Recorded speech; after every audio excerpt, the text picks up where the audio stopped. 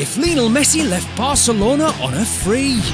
Okay, so why should I sign for PSG? We win the league every year. Wait, some of us do. And watch this. Bonjour, PSG Medical Department. Hi, it's Neymar.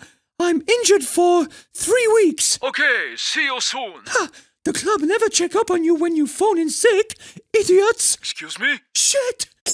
This all sounds perfect. Then sign right here. Oh, one last thing.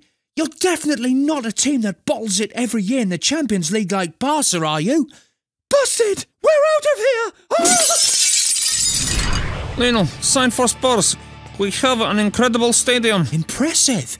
I can guarantee you trophies. Mind if I take a look inside? Um, it's empty. Well, uh, we just, um, haven't unpacked all the suitcases since we moved stadium. really? Really?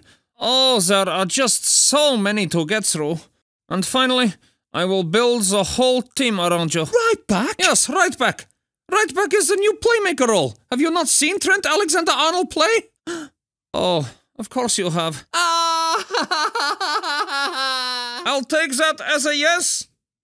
Lino, I'll just sign it on your behalf.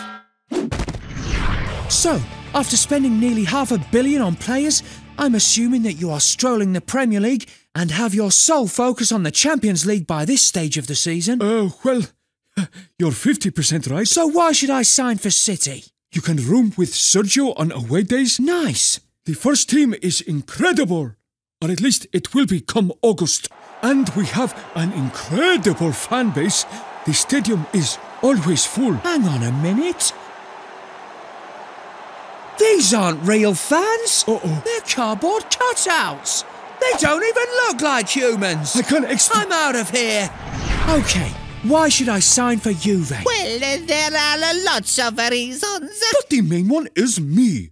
You get to play with me. Um, Be the yin to my yang. Um, the Carlton Banks to my Will Smith. Um, the Netflix to my chill. Um, the assistor to my goals. oh, let's do it. We'll be unstoppable. Just sign right here. Wait a minute. Lionel Messi, must pass to Ronaldo at all times. I accept Ronaldo is the specified penalty taker. I accept Ronaldo is the specified free kick taker.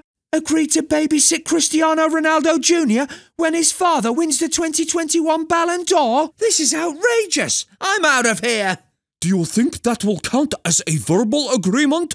No. Shit. The deal is done. This is the only other club right now that deserves my brilliance. Well, as I always say, if you can't beat them, join them. Boom.